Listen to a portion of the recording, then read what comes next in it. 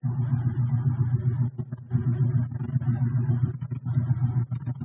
guys, so welcome back to our channel. So, ang gagawin natin ngayon is uh, about Java programming. So, gagawa tayo ng isang simple program para maintindihan ng mga student kung paano gumawa ng program sa Java programming. Okay, ang gagawin natin ngayon is uh, ito. So, first, ang gamit pala natin ngayon is uh, Eclipse okay, IDE.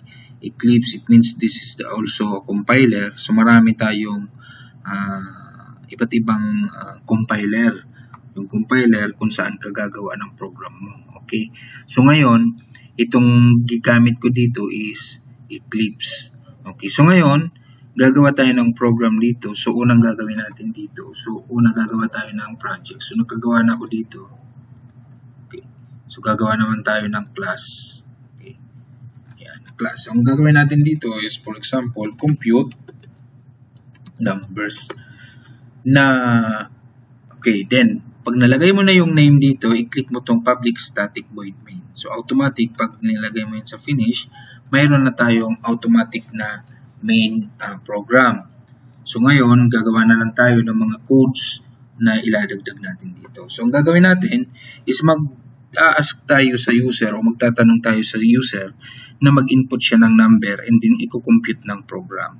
So, kukunin natin yung sum and product ng numbers. Okay, so ngayon, unang gagawin nyo, pag magpapa-input kayo or mag-ask, ask, so magtatanong kayo sa user nang mag-input kayo ng number, so ang una nating gagawin, dapat may import nyo yung ito. Import java.util.scanner. Yan.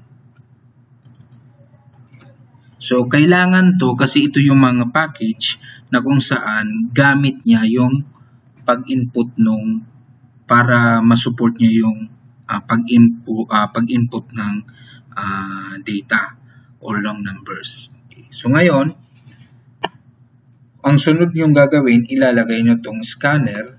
Okay. Input is equal to new scanner. Okay. System dot, dot in. So, in kasi mag input tayo. In, so it means input. So, ngayon, magdi-declare tayo ng variable. So, lagay natin dito integer. So, in num1, then num2, okay. Then, kunin natin yung sum is equal to 0 then prod is equal to 0. Okay. So ngayon, kung makikita nyo, yung num1, num2 is a variable na hahawak dun sa i-input ng user. At yung sum naman, kung makikita nyo, 0 pa lang kasi wala pa naman siyang i-compute. So ngayon, paano tayo magtatanong sa user? So, magtatanong tayo sa user, ang gamit natin is system.out.print okay, print ln. ln Pwede kasing ganito lang, print. Pag may ln, it means next line. Okay?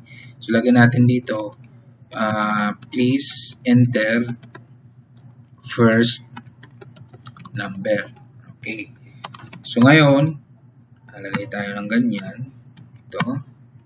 So, paano, pa, para magtanong ah, uh, tayo sa user na mag-input number, gamitin natin yung num1. So, Then num1 is equal to input dot next in. Okay. Ang tanong, asan itong input na to? Bakit ginamit ko itong input? Kasi ito yung variable or object na ginamit ko dito sa scanner. So, kung ang ginamit mo dito is AA, lalagay mo dito AA. So, ang ilagay ko lang dito para mas magandang ano ang variable natin, input, lagay natin dito is input. Yan. So, nagets nyo na kung saan to. At ito naman ang variable na to, itong declaration natin dito. Yung next int is uh, uh, methods na kung saan uh, siya ang maghahawak uh, or siya ang capable na hahawak dun sa ito yung hahawak ng number at ito yung magpapa-input ng number. Okay. So ngayon, gawa tayo ng another uh, tanong system.out.print ln Okay, tatanungin natin yung user, please enter second number. Okay, so natanong mo na yung user, dapat mag input siya ng number. So ilagay naman natin dito yung num2. Input that next in. So yung pangalawang number, hahawakan siya ni variable number 2. So ngayon, kukompute na tayo. So, ang computation natin, kukunin natin yung sum is equal to num1 plus num2. Okay. So, ngayon, mayroon naman tayo dito another uh, computation, prod is equal to num1 plus num2. Okay. So, ngayon, para may display natin yan, para lumabas yung output niya, okay, para makita natin sa screen, ang gagawin natin dito is system dot uh, dot out dot print system dot out dot print dot out dot print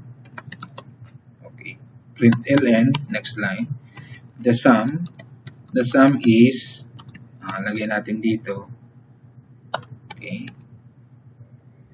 plus sum okay ito may value na to kung kanina 0 pa lang siya ngayon, pag dumaan siya dito, i-compute niya yung dalawang number.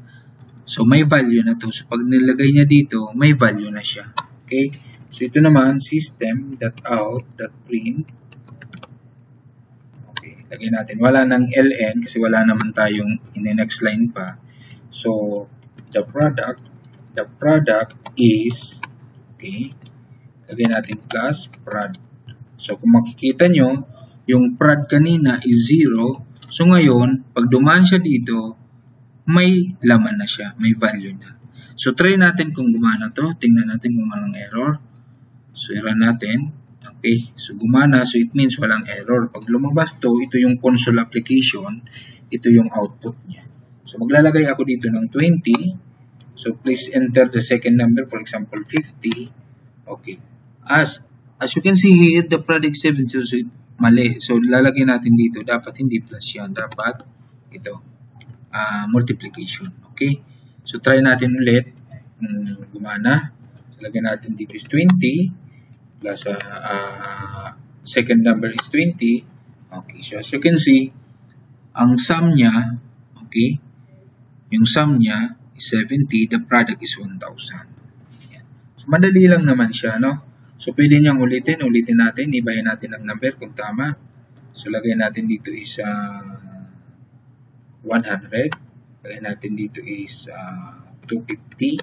So, here, the sum is 350 and the product is 25,000. So, tama yung program natin. So, ganito lang yung paggawa ng simple application or simple program na magkukompute ng numbers. So una, i-import nyo tong scanner uh, utility para magamit natin yung itong mga input. Okay? So bago yan, ito ang gagawin mo. Ilalagay mo lang yan para siya ang magamit mo para mag uh, accept siya ng input galing sa user. So ito unang tanong, pangalawang tanong, kinompute niya din ito yung output. Kaya ang nangyari, ang output niya ganito. So first number, ito yun. Second number, ito yun. Then computation, then product, uh, the sum and product is this. Okay? So I hope you understand this tutorial. So marami pa tayong gagawing tutorial. So please subscribe to our channel. Please share para mas marami pang matuto yung mga estudyante, lalong-lalo na ngayong uh, pandemic. Kasi more on uh, module or more on online, so medyo mahirapan yung mga programming uh, students, IT students, kasi kunti lang yung, almost kunti lang yung mga paliwanag. So ngayon, uh, ginagawa ko to para mas makatulong din sa ibang estudyante. Okay, thank you.